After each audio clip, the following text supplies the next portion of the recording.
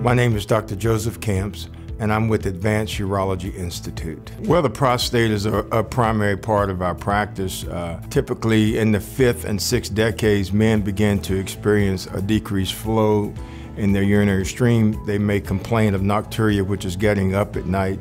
They may have start-stop dribbling. Uh, they may have frequency and urgency, and those are symptoms usually of prostatism. And typically, um, we might start out with um, sort of homeopathic medicine, if you will. We may start with saw palmetto or over-the-counter products. And fortunately now, we're able to treat most prostate diseases with medications.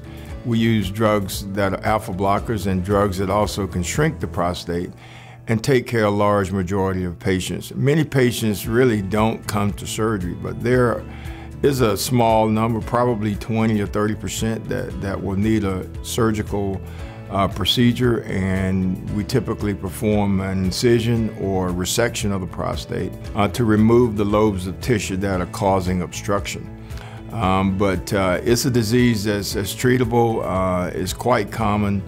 If you live long enough, uh, you will definitely visit a urologist to deal with your prostate. So um, it's, it's one of those things that has sort of become routine for us. We certainly uh, depend a great deal on, on dealing with that disease in our practice.